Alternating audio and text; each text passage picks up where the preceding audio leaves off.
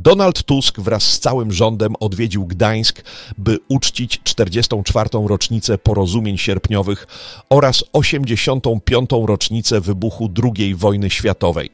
Podczas tej wizyty zorganizował Radę Ministrów, w której przynajmniej w części uczestniczyła e, prezydent Gdańska Aleksandra Dulkiewicz. Donald Tusk przy tej okazji wspomniał atmosferę tamtych dni, podczas których był obecny w stoczni.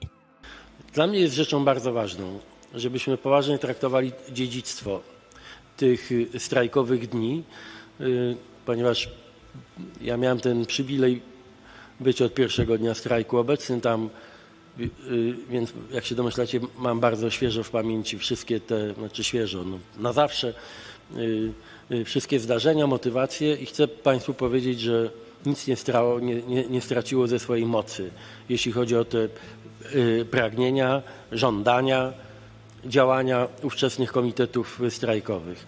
I niezależnie od tych konkretnych postulatów, które są naszą bezcenną pamiątką, te, które wisiały na tablicy yy, na bramie stoczni, tak żeby wszyscy nie, po obu stronach bramy mogli wiedzieć o co chodzi to, co było rzeczą niezwykle istotną, to były kwestie godnościowe w relacji władza-obywatele. Premier zwrócił szczególnie uwagę na to, jak uczestnicy strajków w Stoczni Gdańskiej dbali o komunikację protestujących z tymi Polakami wspierającymi ich z zewnątrz. Mm, pamiętam dokładnie ten, ten moment, kiedy, kiedy strajkujący tak y, dużo pracy włożyli w to, żeby nagłośnienie organizowane przez nich możliwie szeroko docierało z tym przekazem i z transmisjami na żywo y, posiedzeń Komitetu Strajkowego, rozmów rządowych, bo wiedzieli, że kwestia zaufania, lojalności pomiędzy strajkującymi i tymi wszystkimi, którzy ich wspierają, jest absolutnie kluczowa. Już wtedy, chociaż nie kończyli y, większości z nich uniwersytetów, nie, nie, nie byli szkoleni z demokracji, bardzo dobrze czuli wszyscy strajkujący, że zaufanie pomiędzy nimi y, musi być zbudowane na lojalności, przejrzystości, prawdomówności. I ta solidarność jest takim wielkim i takim czystym, kryształowym wręcz wspomnieniem. Mówię o tej solidarności y, z roku 80, 81, bo to zaufanie nie zostało przez nikogo nadwrężone. Donald Tusk w nawiązaniu do tych wydarzeń, które wspominał, stwierdził, że jego rząd wraz ze zbliżającą się rocznicą wyboru musi spróbować czegoś podobnego, by wyjść do grup społecznych, które być może nieprzychylnie lub z niepokojem patrzą na działania jego rządu. Chciałby ministrowie zajęli się organizacją spotkań z nimi, w których on też by uczestniczył. Bardzo bym chciał, abyśmy w tych najbliższych miesiącach, wtedy kiedy będziemy zbliżali się do rocznicy wyborów, a następnie rocznicy utworzenia rządu, żebyśmy y, y, zrobili taką wielką rządową spowiedź powszechną na spotkaniach z ludźmi, ale nie chodzi mi o wiecowanie, nie chodzi mi o żaden typ kampanii. Chodzi mi o dobrą, dobrze zorganizowane spotkania ze środowiskami, które mają jakieś powody do niepokoju, albo które być może straciły trochę zaufania czy wiary w naszą determinację i właściwie dotyczy to każdego z resortów. Ja nie, nie, dzisiaj nie będę mm, e, e, wyznaczał tych jakby precyzyjnych dat i zadań mm, przyjdzie na to czas na najbliższym posiedzeniu rządu. Natomiast chcę Was przekonać do tego myślenia, które wtedy było źródłem siły i które musi pozostać źródłem siły naszego rządu i źródłem wiary ludzi, że jesteśmy dla nich i po coś naprawdę ważnego, a nie, a nie dla, y, dla stanowisk. Premier zwrócił uwagę, że chce, by poprawić sytuację choćby pomiędzy kłócącymi się ministrami, by uspokoić opinię publiczną. Wspomniał też o sytuacji ze sportowcami po Igrzyskach Olimpijskich w Paryżu. Zawsze wtedy, kiedy słyszymy, że ktoś się zastanawia, a co się dzieje, że, nie wiem, że lasy mają być wycinane, a to trzeba umieć na to dobrze odpowiedzieć. Ktoś się niepokoi, że ministrowie się kłócą, mają inne poglądy. Musimy umieć to ludziom też wyjaśnić, opowiedzieć w sposób y, nie nie chodzi mi o komunikaty rządowe, o konferencje prasowe, tylko musimy zainteresowanymi środowiskami, czy to będą sportowcy, którzy, y, którzy chcieli, i ludzie sportu, którzy by chcieli porozmawiać o tym, co się stało z polskim sportem w, w kontekście zamieszania przed, w trakcie i po olimpiadzie każdy z Państwa powinien uzmysłowić sobie, gdzie jego robota gdzie jego praca mogła nadwątlić zaufanie albo mogła nadwątlić fundamenty wzajemnej lojalności. Podobnie jak wtedy, 44 lata temu, my na pewno przebrniemy wszystkie kłopoty. Tak jak powiedziałem, nie dlatego, że jesteśmy bezbłędni, tylko dlatego, że zdobędziemy się, jestem o tym przekonany i wy wszyscy zdobędziecie się na odwagę i pomożecie mi zorganizować spotkania z najbardziej zainteresowanymi grupami i będziecie słuchali podobnie jak wtedy władza musiała słuchać. Tusk zapowiedział, że pierwsze takie spotkanie będzie dotyczyło branży drzewnej. No, ale ja raczej chciałbym, żeby, żeby osoby odpowiedzialne w rządzie za poszczególne dziedziny, co do których mam przekonanie, że mogłyby być lepiej, będą ze mną jeździły do, y, do Polski. Nie, nie chodzi o spotkanie w Warszawie czy w Gdańsku, ale mm, chciałbym, żebyśmy się spotkali. Na przykład, y, co już przygotowuje y, w Olecku w sprawie y, problemów y, branży drzewnej versus lasy państwowe. No czujemy, że tam ciągle mamy coś ludziom i do wyjaśnienia, i do, do zorganizowania.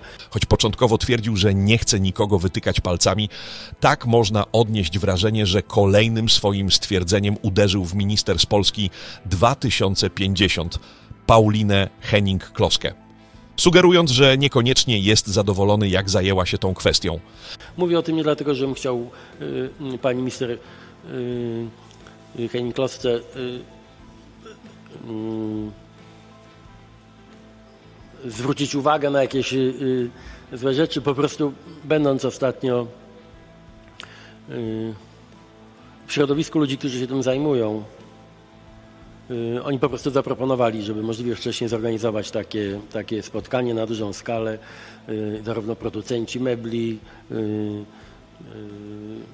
pracujący w tartakach, no oczywiście w lasach państwowych i bardzo mi zależy na tym, żebyśmy we wrześniu to spotkanie, to spotkanie odbyli. Donald Tusk oznajmił też, że kolejną kwestią, jaką chce, by zajął się jego rząd, są media publiczne. To samo dotyczy ludzi kultury i mediów. Czeka nas szybka dyskusja o, o nowej ustawie medialnej i o przyszłości mediów, mediów publicznych.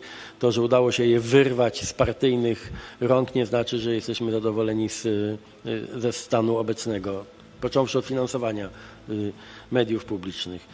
Z imienia wymienił też Adama Bodnara, który ma zająć się organizacją spotkania ze środowiskami prawniczymi. Ma to służyć rozładowaniu ostatniego kryzysu wizerunkowego wynikającego z podpisania przez niego nominacji na ważne stanowisko w Sądzie Najwyższym dla neosędziego. Zaczniemy od spotkania z dość oczywistych względów, y, y, w którym będziemy rozmawiali o stanie praworządności po 8 miesiącach naszych rządów. Pan minister Bodnar mm, zobowiązał się do zorganizowania tego spotkania ze środowiskami zainteresowanymi, które są też zaniepokojone z, w związku z ostatnimi wydarzeniami. Nie chciałyby pewnie odzyskać pewność, że jesteśmy wciąż po stronie praworządności bez żadnej kalkulacji, bez żadnych dwuznaczności. Polecił także ministrom sporządzenie raportów o sferach ich działalności, gdzie rozmowy z zainteresowanymi grupami społecznymi mogłyby być pożyteczne. Y, Będę oczekiwał od pani panów ministrów takich y, bardzo rzetelnych, uczciwych, do bólu prawdziwych mini raportów, w których sprawach czujecie, że nie, nie idzie najlepiej. I żeby w tych sprawach, w których nie idzie najlepiej, porozmawiać z tymi, którzy nie do końca są zadowoleni z naszych działań, a nie żeby sobie lukrować czy robić laurki. Y, y, Bardzo mi zależy na tym, żebyście wszyscy wzięli na swoje barki odpowiedzialność za spotkania i rozmowy trudne.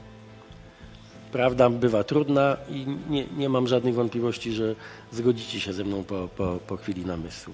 I bardzo też apeluję do wszystkich pań i panów ministrów, y, żebyście też wyciągnęli wnioski z tej lekcji historycznej, tej z 31 sierpnia.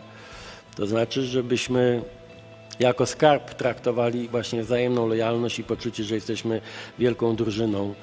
I nie mówię tylko o rządzie, ale mówię o tych milionach ludzi, którzy na nas głosowali. Oni chcą mieć poczucie, że cały ich wysiłek, to wielkie wsparcie miało sens, bo, jest, y, bo zbudowało także naszą drużynową lojalność. Co może lekko niepokoić, premier w dość oczywisty sposób zachęcił swoich ministrów do zastanowienia się nad lojalnością.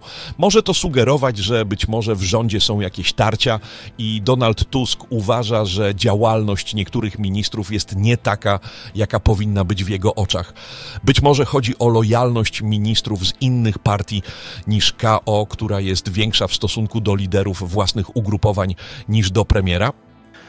Ten wielki ruch Solidarności, ten, ta piękna rzecz, jaka się nam Polakom wydarzyła wtedy w roku 80 i która doprowadziła 9 lat później do zyskania niepodległości. Ona była możliwa dlatego, że ludzie wobec siebie byli naprawdę lojalni i wobec własnych zobowiązań byli lojalni.